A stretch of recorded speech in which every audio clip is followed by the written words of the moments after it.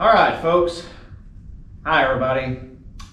I want to do this video because I want to solicit information from everybody out there in the Mopar world regarding overdrive transmission options. This video is going to be somewhat my very first uh, video that I really want to see what everybody has to say in the comments, and I want to know. And um, because there's there's some decisions that I have to make, and I'm looking all over the internet and trying to find the perfect solution. I'm not sure that there is a perfect solution. So let me start out by saying, GM guys, you have all the choices in the world. You've got a 700 R4. You've got a 200 R4 that this Grand National has. You've got a 4L60E. You've got a 4L80E. Those are all great transmissions. And you can put them behind any GM engine virtually. Ford guys, you have an AOD and then you have an even better electronic AOD that uh, we've installed on a friend of mine, uh, Brian's uh, 66 fastback behind a, a stroker 347. And of course you have your stick shift options. GM, Ford guys, and Chrysler guys, now there's a company called Silver Sport that offers both automatic and standard transmission options. Um, we put a TKX 5-speed behind the Charger, and it is an awesome transmission. I absolutely love shifting gears in that car. But I would like to have now an automatic overdrive for this project. We're building a Gen 3 Hemi that's going to be in the 625 to 650 horsepower range NA and I'm trying to figure out, I'd really like to have an automatic. I already have a standard, like to have an automatic, and I'm looking at my choices. So the first choice, the purest choice, is the the automatic overdrives that, that came behind your Dodge Rams. Those are anywhere from the 90s into the 2000s.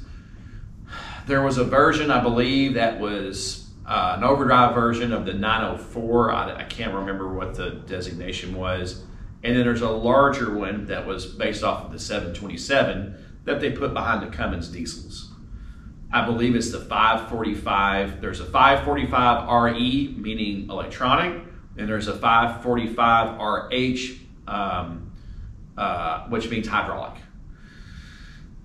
That pertains to the controls of the torque converter solenoid, I, believe is what that mainly is. Now those transmissions are much larger. I overhauled my daughter's overdrive transmission in her, I believe it was a 99, no, it's a 2001 Dodge Ram, four-wheel drive, and I overhauled that transmission. Turned out well. It was behind a 5.9 Magnum stock engine, but it was still big. Um, when you go to put one of those transmissions in, one, you're going to have to do a lot of cutting on the on the transmission tunnel, and you're going to have to do some modifications to the uh, cross member, the, the torsion bar cross member. The 545 RE or RH that became came behind the Cummins, that's a six speed, but the automatic versions, they're very strong and they would definitely hold up to a Gen 3, but they're large, just like the the Chrysler automatics, They're big.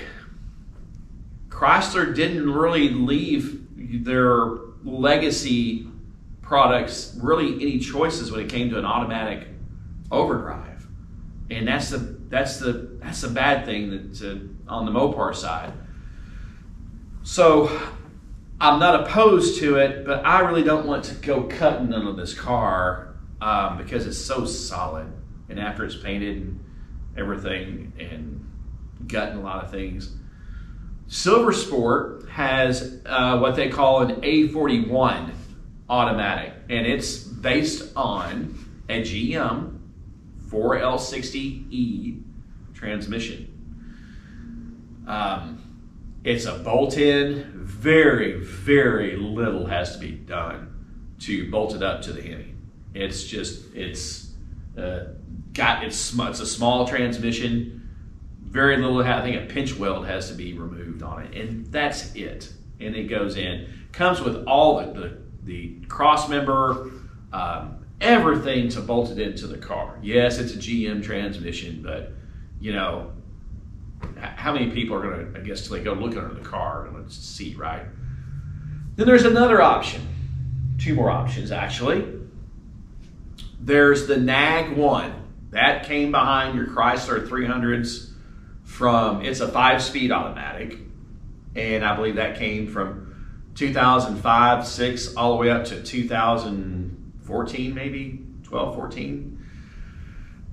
Solid transmission, uh, very strong. Obviously, it'll hold up to the Gen 3. Uh, the problem is, is the shifter mechanism. I think you have to run that silly looking automatic shifter that you see in the 300s and the Challengers and the Chargers.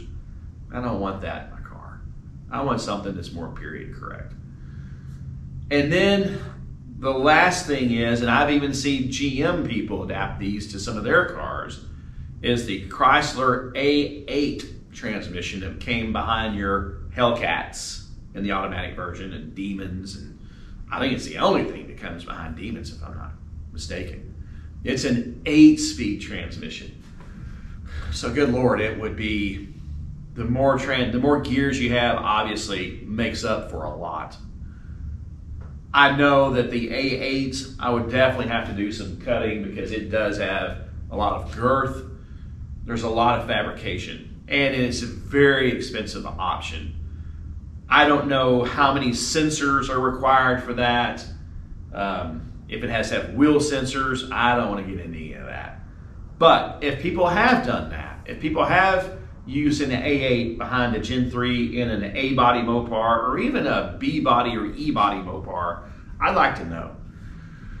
If you've used a NAG 1 transmission and you put it behind in one of these older cars, um, you've done a Hemi swap, I would like to know what your input is. What, what's your opinion?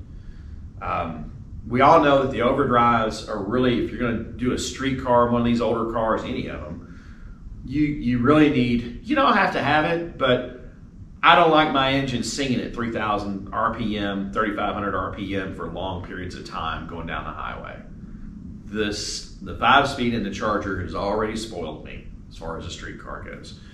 So um, this is an interactive uh, video. I'm trying to solicit everybody's opinion on the overdrive options, specifically automatics, not the standards, not a manual transmission, but an automatic transmission option behind a uh, in a in a classic Mopar with a Gen 3 swap. So please put your comments. Let me know what you think. Um, I'm trying. I'm learning on this. So hope everybody has a good day, and thank you.